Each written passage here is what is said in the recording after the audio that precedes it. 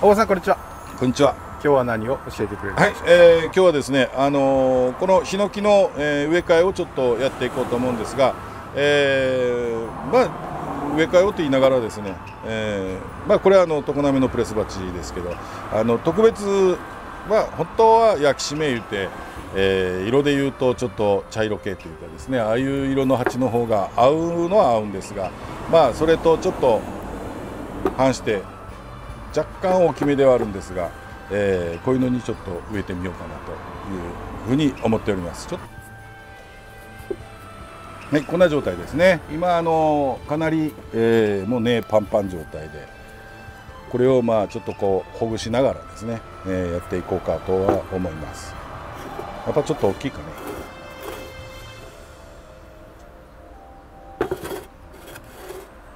まあよかろうと いう形でやっていきたいと思います。はい、お願いします。で、あの、はい、お願いします。で、あの、このヒノキはですね、まあ、植え替えの時期としては、こう、暖かくなってから。えー、そうですね、4月、5月ぐらいから、えー、9月、10月ぐらいまで。の間で、まあ、あの時期を見ながらですね、えー、植え替え等々やっていくんですが、えー、まあ、えー、剪定の時にもちょっと軽くお話をしたとは思うんですがあの植え替えをした年の冬場はまあ、凍らせない工夫はしてあげた方がいいかとは思います。はい、では実際にちょっと、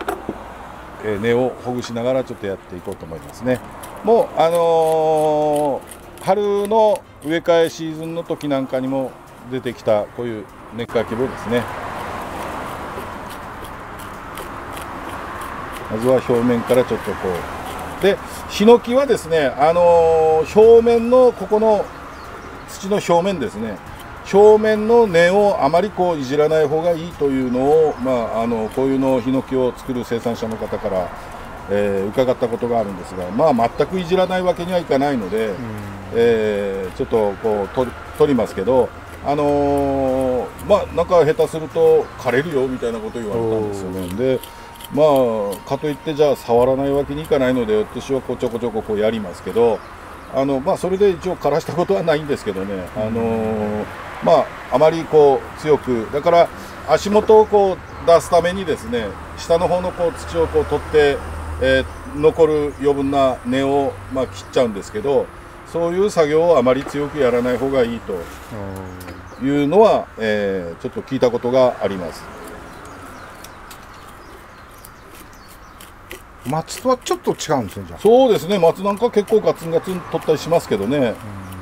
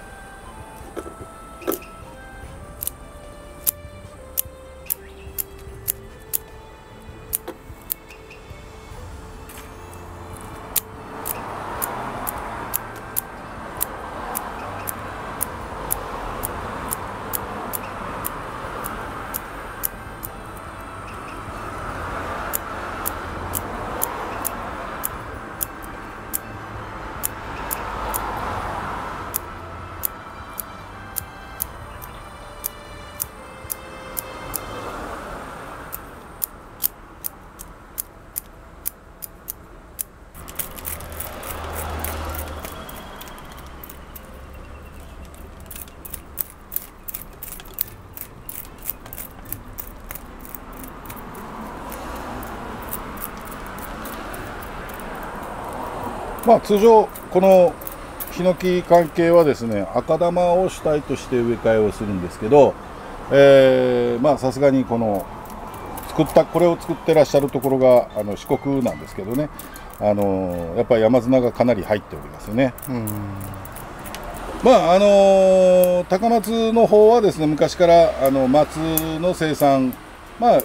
要はまあ松の生産日本一というぐらい、えー、昔からですねあの松を作ってらっしゃる生産者の方多いですね。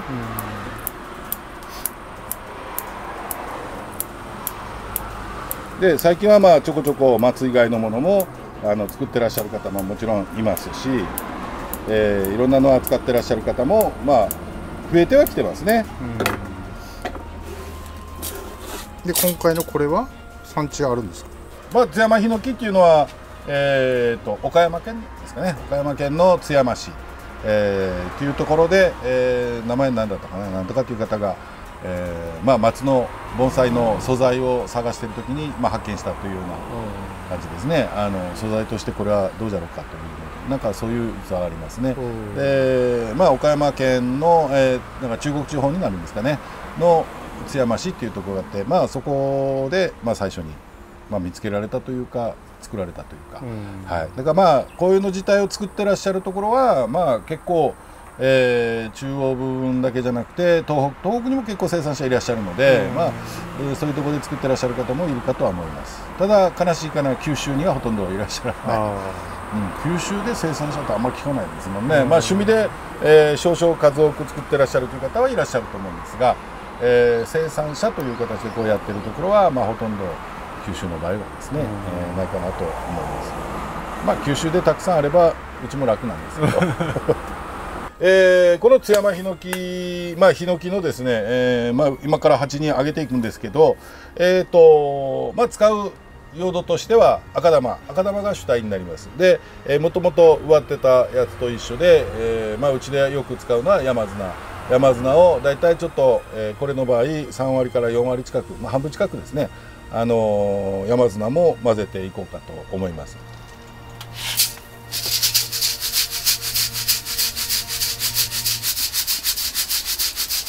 これ硬質の赤玉ですね。で、えー、今ちょっと細かい、まあ、みじんというかくずというかですね。をちょっと今ふるっております。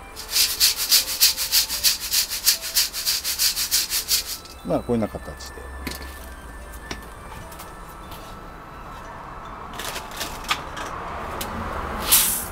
これは山砂です。これもちょっとふるっています。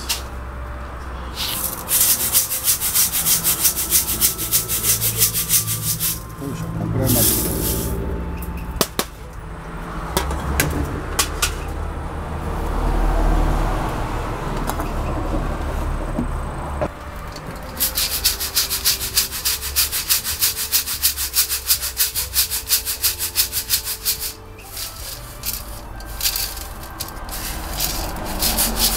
こんな感じでしょうかね。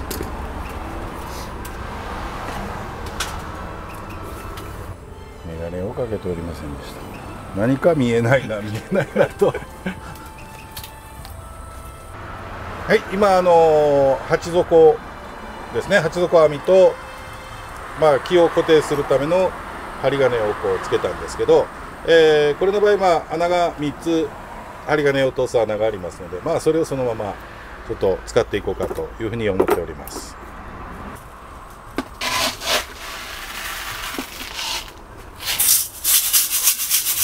これはですね、あのー、山砂なんですけど山砂のちょっと粒の大きいやつですね。でこれをまあ普段通常はあのボラ土なんかの、えー、粒こう適当な大きさのやつを入れるんですけどちょっと今回は、えー、まあ水はけを特に良くしたいということとあとはある程度まあ保水性も高めたいということもありましてですね。あえて山砂のちょっと粒の大きいのを下に敷かせてもらい。ます。はい、で、えー、植える木をですねあの先ほどお見せしたこの赤玉と山砂混ぜたやつですね。これを使っていくので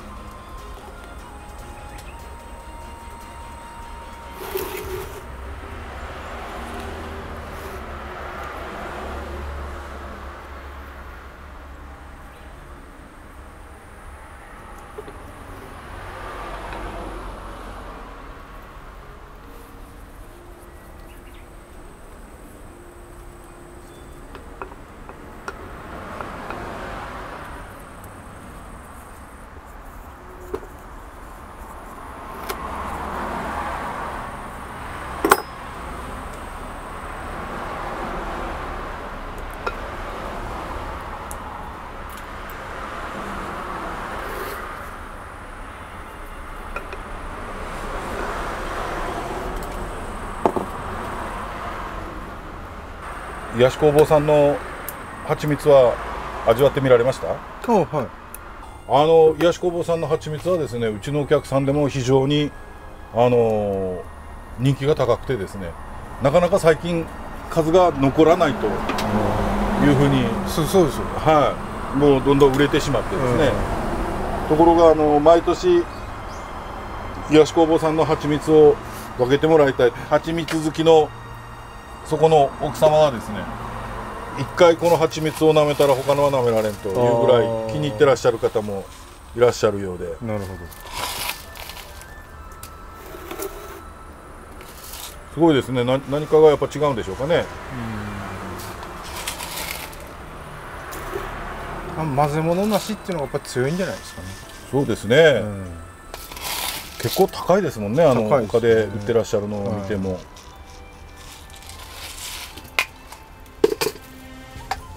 っぱそれでいてでも美味しければそれは人気も出るですよね。そうですね。毎回だけどあの今年は余りますか？言うとうん余らんって言われますけど。あなんか減ってるっていうのは聞きますね。予定通り取れないみたいです。農薬とか。ああと、まあ、花の蜜が咲かないとか吹かないとか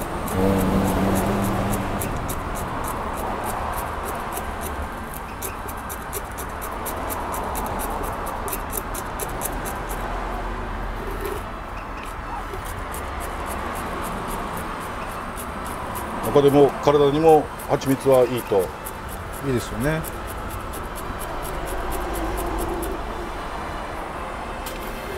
結構この近所にもいらっしゃるんですよ、はい、あのどすぐそこにもあるし。養蜂してる人？はい、養蜂していらっしゃる方。ただあのここのううちの店の裏の上の方はですねかなりの箱がぶらーっと並んでるんですけどそれこそ癒し工房さんから「あれ誰?」って聞かれて、ようんうん。いしょ。わからないんですけどね。でも箱はいっぱい並んでますよね、あとあの私の家のお隣の方もまああの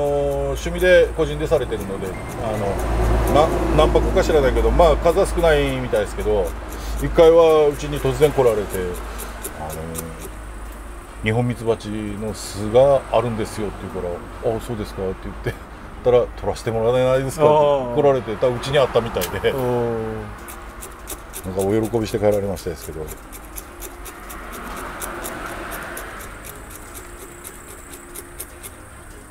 なんかであんなやって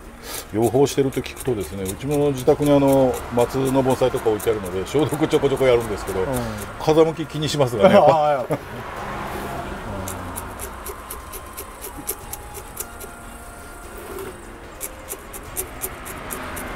あとよくうち見えるお客さんであの松なんかもよ,、まあ、よく買っていただくんですけどそこもなんか趣味で養蜂されてるんですけど、でそうするとあのこんげな状態になってるんだけどって伺って見て写真見てみるともう思いっきり食害ですね。虫に食われてるんですけど、消毒しないかんですよという話をしてあれやったら私行きましょうかって話するといやうちは消毒はせん。でいろいろ聞いてみたらその養蜂されてるらしくてだから消毒はもううちはダメやと。で虫が食いたいなら食わしとけと結構いい松やら買われてですねうわもったいなと思うけどまあご本人が「いやうちはもうそのあらせん」と。でじゃあ松だけ盆栽だけ持ってき預かって消毒してあれしましょうかって言うとなんか「まあいいや」って言われるんですよね。もう蜂一番みたいですね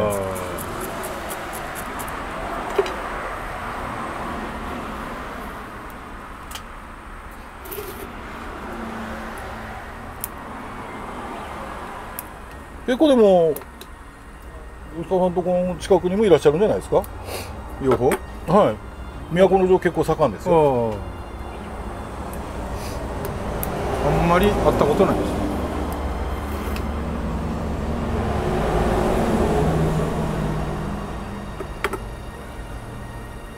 結構うちに見える都城のお客さんなんかも養蜂やってるって方結構いらっしゃいます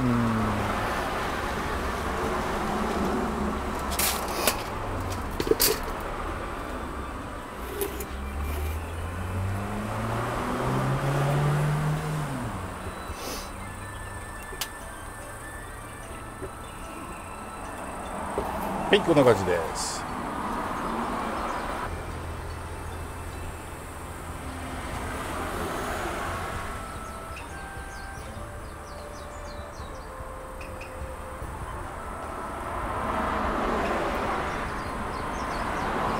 はい、えー、っと、まあ、こんな感じで植え替えまで、鉢上げまでちょっとやりましたが、あのー、まあ、先ほども何度も言ってますけど、今年こうやって植え替えをしておりますので、えー、冬場に凍らせない工夫をしてあげるということを頭に入れておかれるといいかと思います。ご自宅で植え替えを、まあ、今の時期、全然やるのは問題ないんですが、えー、冬場だけ凍らせない工夫をするように心がけていただけるといいかと思います。はい、えー、今日はこれ津山ヒノキですね。ヒノキの植え替えを、えー、実際実演としてやりました。はい。以上です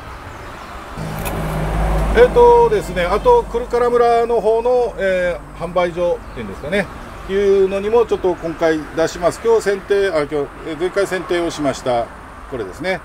まず1点目こういうの。はいヒノキですね。その販売所の方を見ていただいたらですねまた、あのー、いろいろ、えー、金額とも書いてありますのでまた見ていただけるといいかと思います、はい、なかなか、えー、これも、えー、津山ヒノキまあまあ、えー、太さもあって、えー、手頃なサイズではあります。はい。でこれが2点目ですね。であと3点目が先ほど、えー、植え替えをやりました鉢にあげましたこれですね。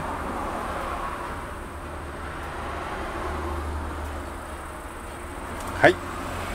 まあ、もしあの興味のある方は、えー、古唐村の、えー、販売所の方を、まあ、見ていただいてまた、えー、コメントといただければと思います。はいよろしくお願いします。ありがとうございました。ありがとうございました